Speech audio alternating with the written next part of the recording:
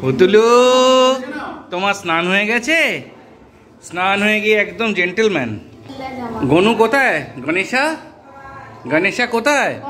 ওই দেখো গণেশাকে দেখাচ্ছে দেখেছ? বাহ বাহ। Good morning friends welcome back to the channel আর আজকে লক্ষ্মী পুজো। তো বাড়িতে মা, কাকিমা কেউই নেই। ওরা তো দ্বাদশীর দিন বললামই বেড়াতে গেছে। ওই জন্য এখানে আমার বোন পুজো করছে। পায়েল এখানে লক্ষ্মী পুজো করছে, স্নান টান করে। আর পাড়াতে তো সামনে তো প্যান্ডেলে পুজো হবেই, ওটা সন্ধ্যাবেলা হবে। ওখানেই অঞ্জলি টঞ্জলি দেওয়া হয়। আমরা দিই না, মা কাকিমারাই দেয়। তো ঘরে পুজো করে নিয়ে বিকেলে অঞ্জলি, সন্ধ্যাবেলা অঞ্জলি দেয়। আর আমরা খাওয়া দাওয়া করে নিই, নিরামিষ ভাত টাতি খেয়ে নিই। তো পায়েল এখন একটু পুজো করে নিচ্ছে আর আমাদের এখানে কাকু রান্না বান্নাও করে দিয়েছে। আজকে রান্না হয়েছে ডাল আলু পোস্ত, শুক্তো আর পাঁপড় ভাজা। আর সাথে আছে চাটনি। এটাই হয়ে যাবে দুপুরের লাঞ্চ। কারণ রাত্রে তো খাওয়া দাওয়া আছে। আজকে লক্ষ্মী পুজোর দিন, বেশিরভাগ বাড়িতেই রাত্রের মেনু হচ্ছে লুচি, আলুর দম এইসবই। আর আমাদের বাড়িতে আজকে রাত্রের মেনু লুচি, আলুর দম, ছোলার ডাল আর সিমুয়ের পায়েস। আর এখন চলে এসেছি আমরা পাড়ার প্যান্ডেলে। এখানে লক্ষ্মী মানে লক্ষ্মী পুজো হচ্ছে তো পুরোহিত মশাই পুজো করছে। আমরা একটু গিয়ে বসেছি। আমরা অঞ্জলি তো দেবো না, তো এমনি গিয়ে বসেছি। একটু পুজো টুজো দেখছি। আর আমাদের খুদের সদস্য তো ও তো একটা নতুন জামা টামা পরে রেডি হয়ে চলে এসছে। ওকে নিয়েই আমি দাঁড়িয়ে আছি।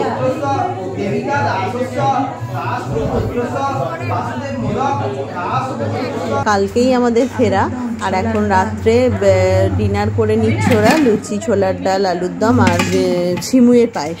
এটাই আজকে ডিনার মেনু আর আমি একটু লুচি আলুর দম বেশি করেই বানাতে বলে দিয়েছিলাম কাকুকে। সকাল সকাল বেরোনো মানে আমরা ব্রেকফাস্ট করে নেব এটা দিয়ে।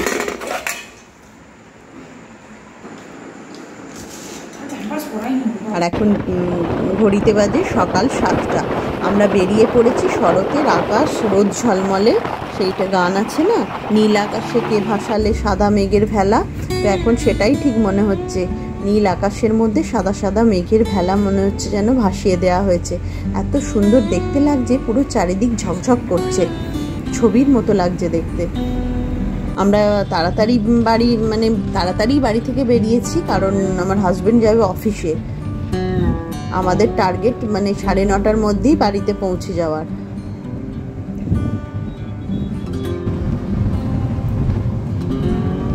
একে তো সকাল সকাল উঠতে হয়েছে, তার মধ্যে আবার বাড়ি ফিরে যেতে হচ্ছে। রিম্বি রিম্বির মনটাও খুব একটা ভালো নেই, তার সাথে ঘুমের ভাবটাও রয়েছে। রিম্বি তো আমার কোলে কিছুটা সময় ঘুমিয়েও নিল।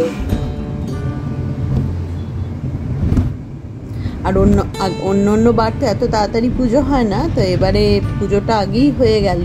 আর বেশ, বৃষ্টি ফৃষ্টিও হয়েছে, আর এখন পুজো কেটে যাওয়ার পর একদম ঝলমলে আকাশ হয়ে গেল। তো মনে হচ্ছে যেন পুজোটা আসছে আসছে এরকম একটা ফিলিংস হচ্ছে। তার সাথে রোদও দিয়েছে ভালো।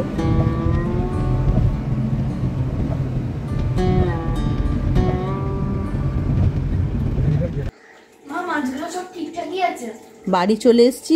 আমাদের একটাই ভাবনার বিষয় ছিল যে মাছগুলো কি করবে? অন্য অন্যবার মানে এতদিন তো থাকা হয় না, এবারে বেশি দিন থাকা হচ্ছে বলে মাছগুলো একটা সেলাইন ফুড দিয়েই গেছিলাম। অনেক দিন পর খাবার পেল, বল, সলিড খাবার। আর এই, আমরা তো দশ দিনের জন্য বেরিয়েছিলাম, তো এই খাবারটা ওদের দিয়ে গেছিলাম। এই ভেকেশন এইটা আমরা দিয়ে গেছিলাম, এটা ওই স্লাইন মানে স্লাইন ফুড আর কি।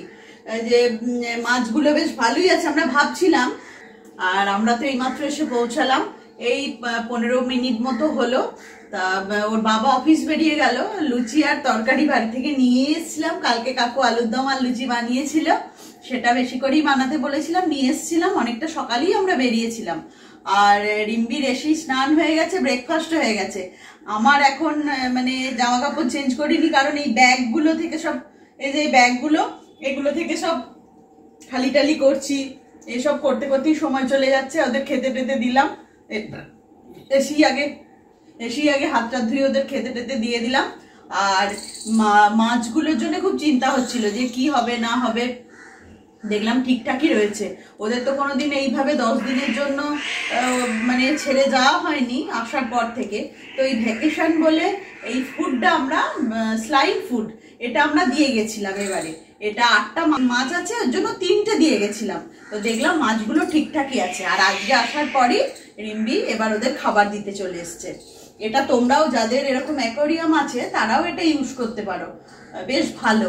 আর এটার প্যাকেটটার দাম একশো টাকা। এটা থেকে আমরা তিনটে দিয়ে গেছিলাম। অ্যাকোরিয়ামের যে শপটা আছে ওখান থেকেই বলে দিয়েছিল যে এই তিনটে ফুড দিতে আটটা মাছের জন্য আমরা কদিন যাচ্ছি সবই বলেছিলাম তা ওরা সেই অনুযায়ী আমাদের এটাই সাজেস্ট করেছিল।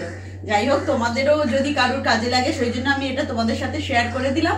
আর এখন স্নান করব, ব্যাগগুলো দুটো তিনটে ব্যাগ তো খালি করিয়ে নিলাম। এবার একটু স্নান করে তারপর একটু রান্না বান্নার কাছে লেগে যাব। ডাল, পোস্ত, ডিম ভাজা এটাই করব। আর এগুলো সব তো ক্লিন ক্লিন করতে এখন অনেক কাজ। তা তোমরা ভিডিওটা কন্টিনিউ করো। এখন আর দেখলেই তো তোমরা, আজকে সকালেই চলে এলাম বাপের বাড়ি থেকে। হ্যাঁ মনটা একটু একটু খারাপ হচ্ছে। রিম্বির আর রিকের বেশি মন খারাপ হচ্ছে। ওই যে খেলাধুলো, সবার মধ্যে থাকা, এগুলো খুব মিস করে এসে। আর বলে কয়ে মানে অনেক সাধ্য সাধনা করে পড়তে বসেছে। বই খোলার ইচ্ছাটাই নেই, এখন তখন করছে। আমি বললাম, না, স্কুলও তো আরম্ভ হয়ে যাবে। তো যাই হোক, বইটা খুলে বসেছে আর রিক ওই ঘরে পড়ছে।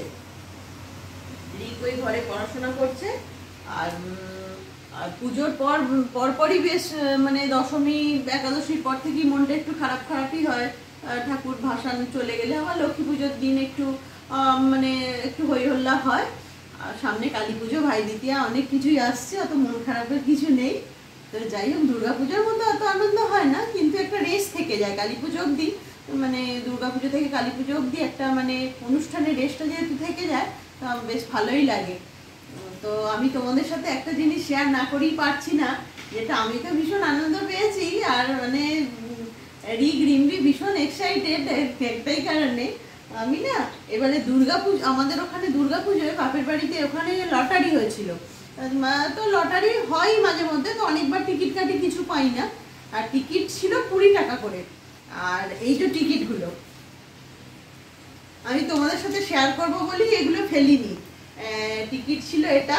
তো লটারি বলতে ওরা দুর্গাপুজো উপলক্ষে যে প্রোগ্রামগুলো দেয়, বাইরে থেকে গান টান অনেকেই তো করতে আসে, অর্কেস্ট্রা আসে।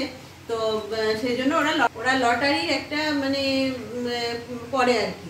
তো সেই জন্য অনেকবারই কেটেছি, কিছুই পড়েনি। তো এবারে আমি একটা প্রাইজ পেয়েছি, পঞ্চম পুরস্কার। প্রথম পুরস্কার ছিল একটি সর্ষের তেল। মানে ওটা ষোলো কিলো ছিল বোধ আর দ্বিতীয় পুরস্কার পঁচিশ কিলো মিনিকিট চাল, আর তৃতীয় পুরস্কার পাঁচ লিটার তেল, সর্ষের তেল, তারপরে ওই হোয়াইট অয়েল, চতুর্থ পুরস্কার, আর পঞ্চম পুরস্কার যেটা ছিল, সেটা ছিল মানে পাঁচশো গ্রাম পোস্ত। সেটাই আমি পেয়েছি। মানে অনেকগুলোই টিকিট আমরা কেটেছিলাম, তো পাঁচশো টাকার টিকিট কেটেছিলাম। টিকিট তো যেহেতু ভাইগুলো ভাইটাইগুলো রয়েছে ওরা তো ছাড়বে না তো আমার হাজবেন্ডকে দিয়ে ওরা পাঁচশো টাকা টিকিট কাটিয়েছিল। তা সেই টিকিটে আমিও জানি কিছু পড়েনি যেদিন খেলা হয়েছে নবমীর দিন মনে হয়। নবমী বা দশমীর দিন না নবমীর দিন আমি আহ, যাইও নি তখন বাড়িতেই আছি ভাবছি কিছুই পড়েনি।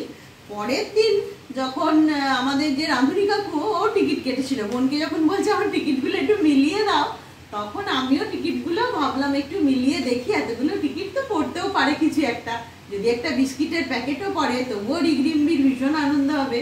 তো আমি দেখলাম যে আমার পাঁচশো পোস্ত পড়েছে। আমার বোন বলছে, দিদি, তোর পাঁচশো গ্রাম পোস্ত পড়েছে? আমি ভাবছি, মজা করছে বোধ তারপরে দেখলাম, না, সত্যি সত্যি, এই যে পাঁচশো গ্রাম পোস্ত আমাকে ওরা দিয়েছে।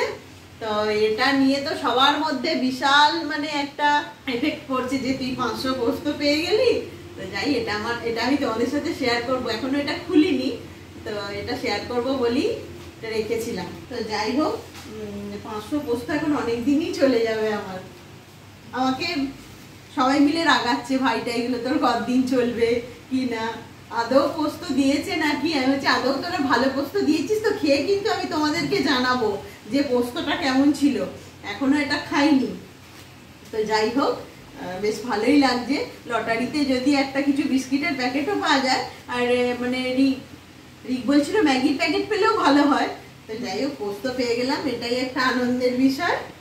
পাঁচশো পোস্ত। আর পোস্তর এখন যা দাম হয়েছে, দু হাজার টাকা কিলো। এখন যাই, আমাকে করতে হবে রিগ্রিমি টিফিন। রিগ্রিমি টিফিন বলতে ওরা তো স্কুলে আমি একটু স্যান্ডউইচ তোমাদের আগেও শেয়ার করেছি, আমি একটু স্যান্ডউইচ বানিয়ে রাখি। ওই দুদিন মতো চলে যায় স্যান্ডউইচটা বানিয়ে রাখলে। আবার পরবর্তী মানে পরের পরের দিনের জন্য আবার করি। মানে একটা স্যান্ডউইচ করে ওই দুদিন মতো চলে যায়। পুরটা বানিয়ে রাখি, একবারে স্যান্ডউইচটাই বানিয়ে রাখি, দুদিন চলে যায়, ভালো করে এয়ারটাইট বক্সে রেখে দিই। তো আজকে সেই স্যান্ডউইচটাই বানাবো, বাড়িতে এলে তো আর কাজের শেষ নেই, যতক্ষণ বাড়ির বাইরে থাকা যায়, ততটাই ভালো। এখন ওরা খাবে প্লাস টিফিনের জন্য বানিয়ে রাখি, স্কুলে নিয়ে যাবে। তো স্যান্ডউইচের রেসিপিটা আমি তোমাদের সাথে শেয়ার করি। আগে অনেকেই আমায় লিখেছিল দিদি, তুমি একটু স্যান্ডউইচের রেসিপিগুলো শেয়ার করবে। সব সময় যে একই রকম স্যান্ডউইচ বানাই, তাই, তা নয়, বিভিন্ন সময় বিভিন্ন রকম বিভিন্ন রকম স্যান্ডউইচ বানাই। আর টিফিনে এগুলোই আমি দিই, একটু মিক্সড রাইস এগ টেক দিয়ে, একটু ভেজিটেবলস দিয়ে। এটা ওরা খেতে খুব ভালোবাসে, আর এই স্যান্ডউইচ। স্যান্ডউইচ দিই। তার সাথে একটা ফল দিয়ে দিই, তা চলো, তোমাদের সাথে এখন আমি স্যান্ডউইচের রেসিপিটা শেয়ার করে দিই। আর বানিয়েও দিই, ঝটপট করে রিগবিম্বি এখন একটু খাবে। তো চলো ততক্ষণ তোমরা ভিডিওটা কন্টিনিউ করো। চিকেন স্যান্ডউইচটা বানাবার জন্য আমি চিকেনটা একটু সেদ্ধ করতে দিয়ে দিয়েছি, আর একটু গ্রেট করে আদা আর রসুন দিয়ে দিয়েছি। আদা, রসুন বাটাও দেওয়া যায়, অল্প একটু দিয়ে দিয়েছি। আর এখানে আমি গাজরগুলো গ্রেট করে নেব। চিকেনটা ততক্ষণ একটু সেদ্ধ হয়ে যাক। আর স্যান্ডউইচটা বানাবার জন্য এখানে আমি হোয়াইট সসটা বানিয়ে নিচ্ছি। তার জন্য প্যানের মধ্যে বাটার দিয়ে দিয়েছি। দিয়ে কিছুটা পরিমাণ মানে ওই দু চামচ ময়দা দিয়ে দেবো, একটু নাড়াচাড়া করে তারপর একটু দুধ মিশিয়ে দেবো আর একটু চিকেন স্টকটাও দিয়ে দেবো। যে স্টকটা রয়েছে। হোয়াইট সসটা রেডি হয়ে গেছে। বাটারের মধ্যে ময়দা দিয়ে দু মিনিট একটু নাড়াচাড়া করে তার মধ্যে আমি একটু চিকেন স্টক আর একটু দুধ ঢেলে দিয়েছিলাম। আর দিয়েছিলাম নুন আর বেশ কিছুটা পরিমাণে গোলমরিচ।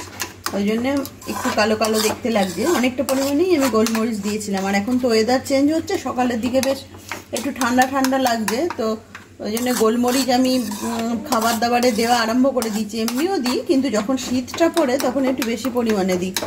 সর্দি কাশি এসবের পক্ষে তো গোলমরিচ খুবই ভালো। তো এটা হয়ে গেছে। এবার আমি, আর চিকেনটাও আমি এইভাবে স্ট্রেট করে নিয়েছি, আর গাজরটাও, গাজরটা, আর এখন আমি হোয়াইট সসটা এর মধ্যে নিয়ে নিচ্ছি।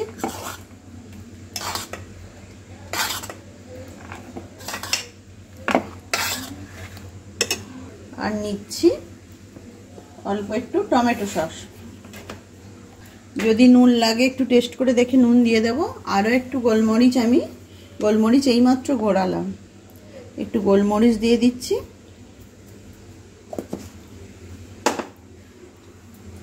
ভালো করে মিশিয়ে নিয়ে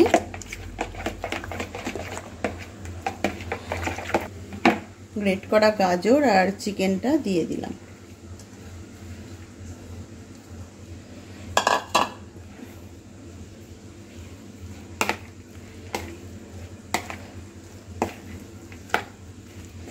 এই চিকেনটা একটু কমই ছিল। আর এইভাবে আমি ওদের স্যান্ডউইচগুলো বানিয়ে রাখব। দুদিন স্টোর করে রাখি। এয়ারটাইট বক্সে করে আমি রেখে দিই। এটা আমি দুদিন ওদের টিফিনে দিয়ে দিই। এর সাথে দুটো করে স্যান্ডউইচ আর একটা করে ফল। তাহলে আমার এটা বানানোই থাকে, সুবিধা হয়। এটা দুদিনের বেশি কিন্তু রেখে খাওয়াটা ঠিক নয়। যদিও আমি মেয়নিজ দিইনি মেয়নিজ আমি দিই, ইউজ করি না প্রায়। তো ওই জন্য আমি এটা রেফ্রি মানে ফ্রিজে রেখে দেবো। দুদিন ওদের টিফিনে দিয়ে দেব। আর ব্রেডে বাটার বুলিয়েও দেওয়া যায়। আমি যেহেতু হোয়াইট সসটা বানাবার সময় অনেকটাই বাটার দিয়েছি, এখন আর বাটার দেব না। আর রিম্বি তো স্যান্ডউইচ খেতে ভীষণ ভালোবাসে।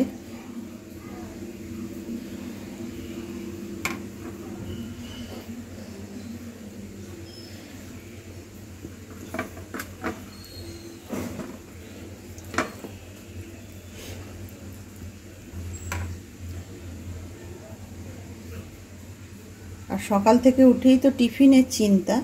ওই জন্য রাত্রে ঘুমোতে যাওয়ার আগে মানে ঠিকঠাক করেই রাখি যে কালকে কি টিফিনে কি দেব।